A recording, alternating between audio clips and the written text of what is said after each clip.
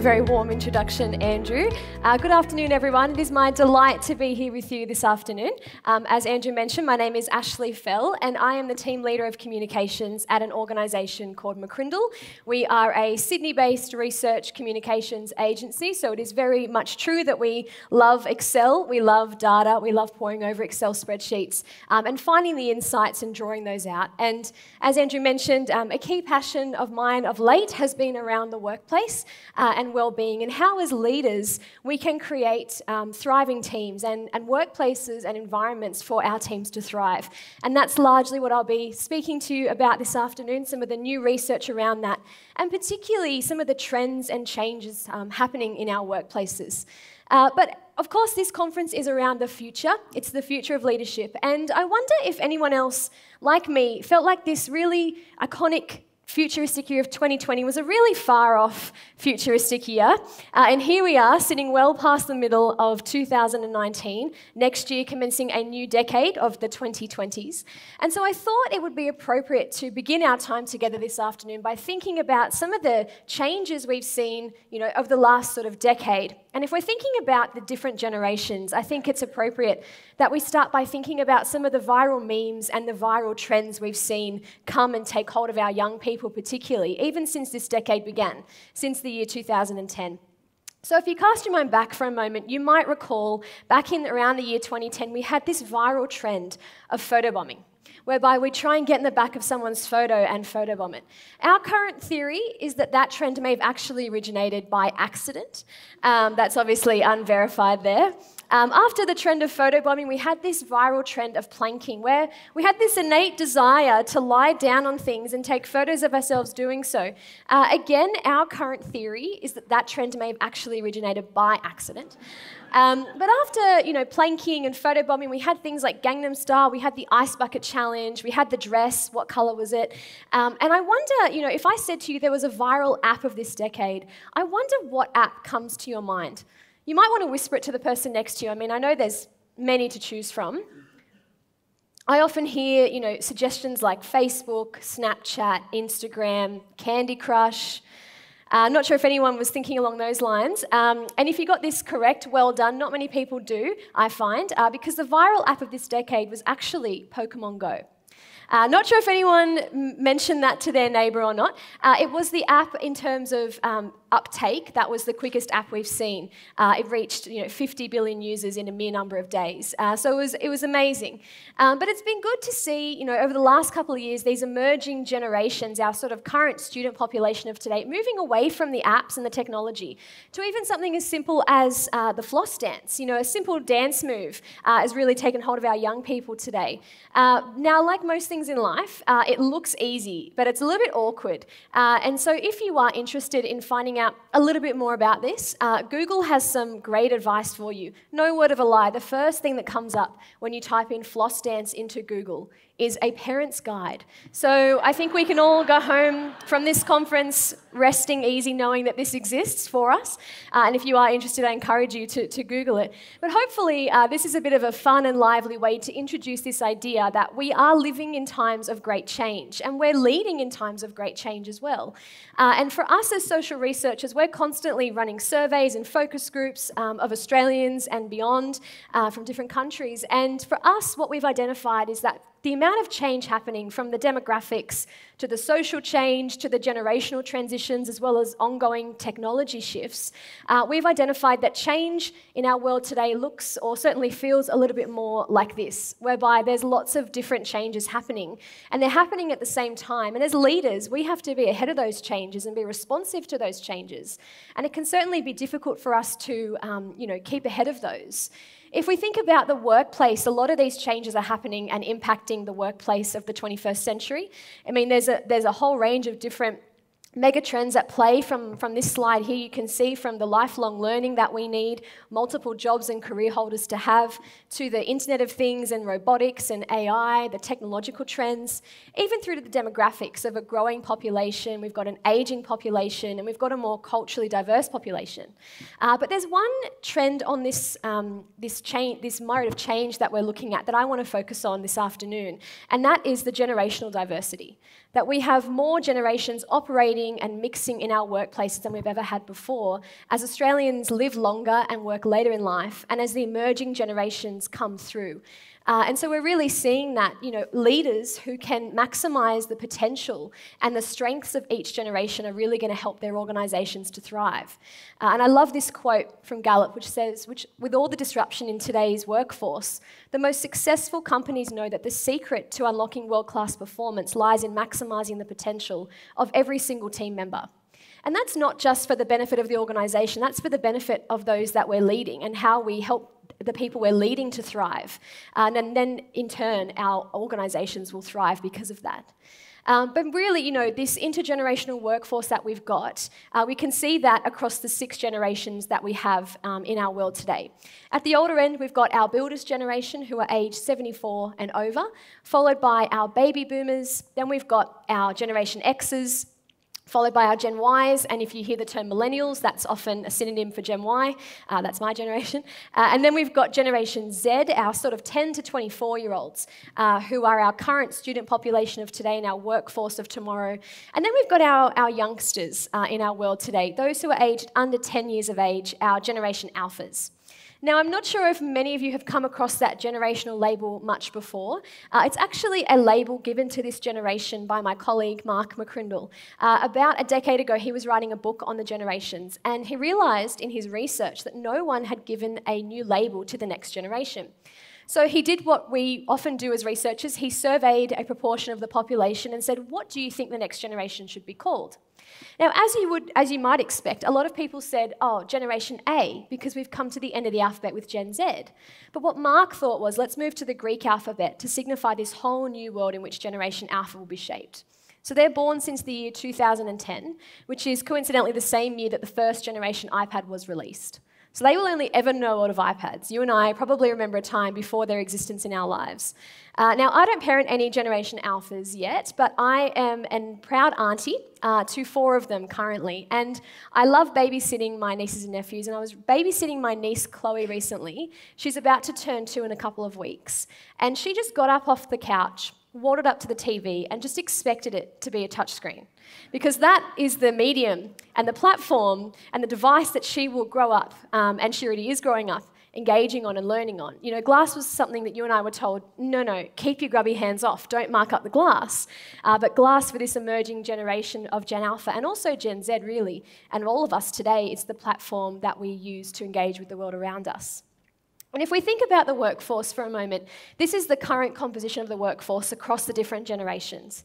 But by 2030, so within a decade's time, um, you know, we can see here that Generation Z are going to comprise a sizable proportion. A third of the workforce will be Gen Z, and even some Gen Alphas will be in there. Um, and Generation Z is really the focus of a lot of um, employers and leaders today because they are our student population currently, but they're coming out of, um, of TAFE and university and school into our workforce in big numbers. And you know, they're currently aged between 10 and 24 years of age, and they are a very different generation to generations past. One of the key differences about them that we've identified is that they tend to speak a different language.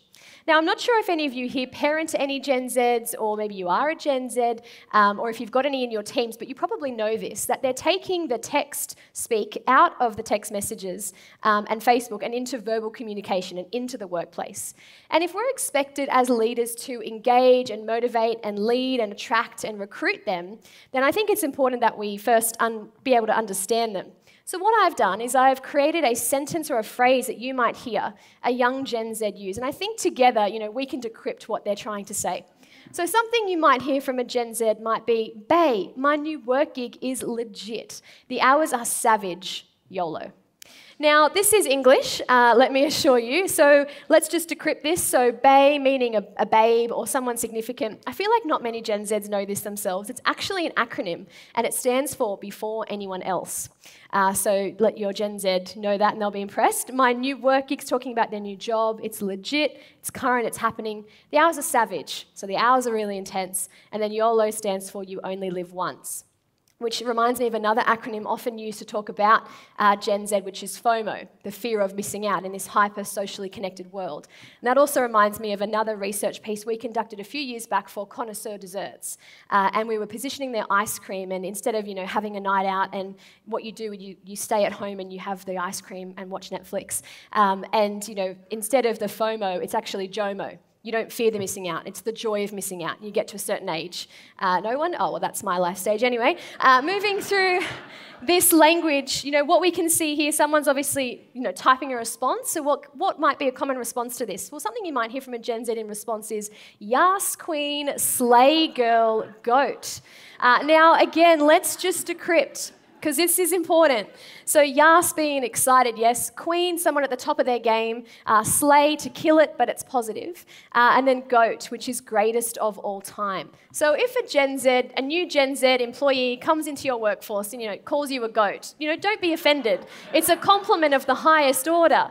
Uh, so, just keep that in mind as you engage and motivate and lead this emerging generation. But another key characteristic, not only do they speak a different language, they're also moving jobs, and they will move more jobs more frequently than we've seen other generations do in the past. Um, oh, and I was going to say as well, sometimes Gen Z, they take a while to get to the point, because all this conversation entails is, I like my job, great. Uh, but nonetheless, you know, we need to understand this generation, and they are moving jobs more frequently. Uh, based on the average tenure of two years and nine months, uh, that's the average that someone is staying in one role. If we extrapolate that out over the lifetime of a school, school leaver today, noting that they will live longer and work later into their life, it's predicted that they could have up to 18 jobs across six careers in their lifetime, which is phenomenal. Um, and the only thing it seems, though, that Generation Z and even Gen Y to a certain extent aren't moving more frequently is out of the family home. Now, I'm not sure if anyone here, parents, any Gen Ys or Gen Zs, we are delaying those life markers like getting married, having children. We're starting our earning years with a HECS debt. Uh, so, all these you know, factors mean that we are staying at home later in life. And that's why you know, the Gen Ys and even the Gen Zs, to, to a certain extent, have been labelled a generation of kippers, uh, which stands for kids in parents' pockets eroding retirement savings. Uh, so there are a few generational positives and negatives with these characteristics about, about the emerging generations, but they are coming into our workforce in big numbers. And we have conducted quite a lot of research about and with these emerging generations. And what we found is that there are some key things that they are looking for in a workplace, and as workplace leaders, that we need to be aware of that they're looking for. And basically, what we've identified is that they're looking for what we call the engagement equation, which is CPI, which effectively stands for culture, purpose, and impact. This is what the emerging generations are looking for in a place of, a place of employment. So let's unpack each of these for a moment. First, we're talking about a workplace culture, how an organisation does things. Um, and there are many things that, that implement um, and affect a workplace culture. I mean, there's the competence around what, what we do for work, there is the cause as to why we exist, but at the root level, um, what's really underneath those other things and what drives that is a workplace culture. It's how you do it. Uh, and I love this particular definition of culture, which says that culture is the character and personality of your organisation. It's what makes your business unique, and it's the sum of its values, traditions, beliefs, interactions, behaviours, and attitudes. And defining culture can be quite difficult because there are, a lot of, there are a lot of things that contribute to a workplace culture.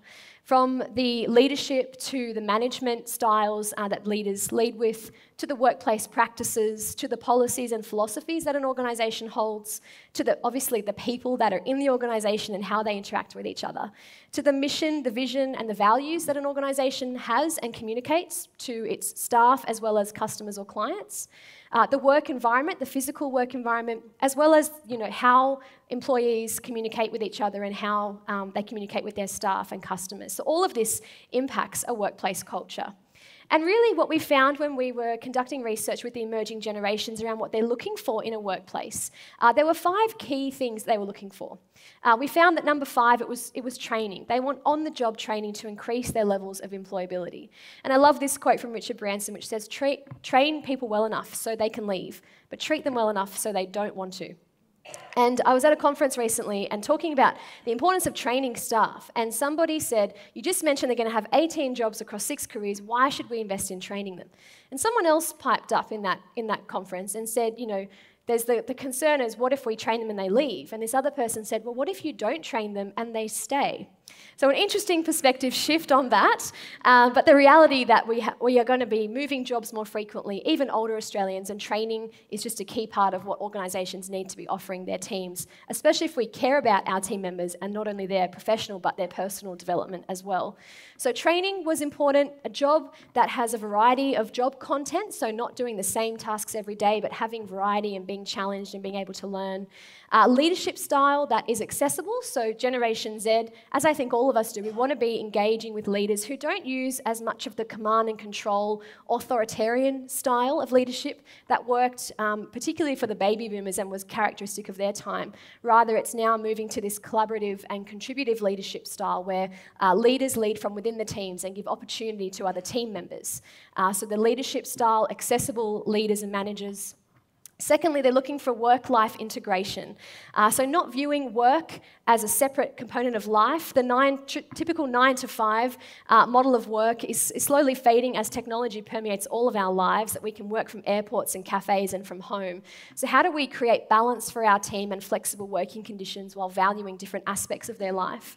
Uh, but above all, what was fascinating from this research was that a workplace culture or a sense of community at work was the number one thing that the emerging generations are looking for in their workplace. And as I mentioned earlier, these emerging generations are delaying traditional life markers like having children and getting married. Um, they're less likely to know their neighbours, they're more likely to be involved in online communities rather than face to face interaction. Yet they still need that sense of community, as we all do. We need that sense of belonging and acceptance. So we see here the workplace is meeting multiple needs, um, and workplaces can be that sense of community and a safe place for people, perhaps when things at home are going on or being too much. What an amazing opportunity as workplace leaders that we have to create workplaces that are about community and helping people to thrive beyond just getting the work done or productivity outcomes. So we see this particularly for these emerging generations, but it is something I think that all of us want in our workplaces. So an engaging workplace culture is the first part of that. And there's this great quote I love as well from Gallup, which says, Culture is the organization's GPS, giving its employees routes and pathways for living its organization's purpose and delivering on its brand promise. But unlike a typical GPS system, culture is not always obvious. It's communicated regularly by what leaders do and the decisions they make. Now, when I read this quote in this report from Gallup, I was instantly reminded of a, time in my own career uh, when I was pretty new at McCrindle and I was as a, in a small business doing a lot of different roles. And part of one of my roles was to look after my colleague Mark's sort of speaking engagements and his diary. And we had agreed for him to be part of a not for profit charitable event at a really low cost um, because he was passionate about it. And we locked it in, confirmed it with them.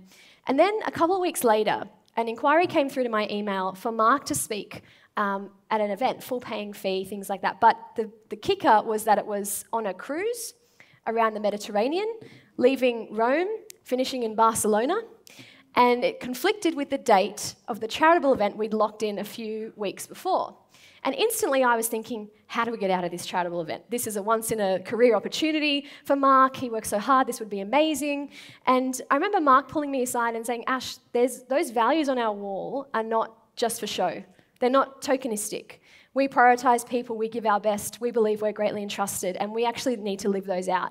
And this is one of those situations which means we're going to have to give up one of those to honour those values, and we have to do it. And it was a little bit painful, um, but it showed me very early on in my career uh, that this organisation, this leader that I was looking up to and, and serving and following, was someone with deep integrity, um, and that those values weren't just on the wall for us. So that was certainly something that stuck with me around that culture and the importance of a workplace culture and purpose.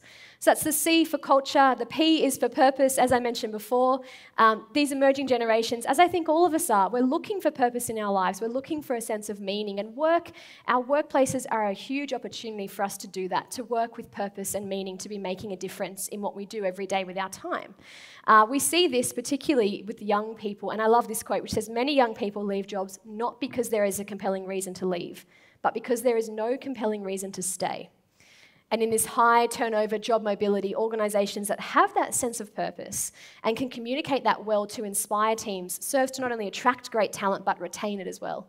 Uh, and we see this particularly in something in a model that I'm sure you've seen before, Maslow's hierarchy of needs. Uh, we can see at the bottom there, you know, it's about survival and security. If we think about how this pertains to a workplace, what we know is that, you know, when it comes, comes to survival and security aspects of work, we think about things like remuneration and super, worker entitlements, tenure, role description, and all of these are absolutely important. But once we get those things right, we can move up the hierarchy to other aspects like the social aspect, whereby it's about things like team building initiatives and a workplace culture, co working spaces, and flexibility. And then moving up to the top of the hierarchy, we know it's about the self actualization and self esteem aspects of a workplace, which is things like the triple bottom line the people, the profit, and the planet, the organization's values, the training, the corporate giving programs, all of these things that particularly the emerging generations are looking for in their place of employment, and that they're expecting their organization will have a sense of purpose. So if we can get those bottom ones right, we can move up the hierarchy.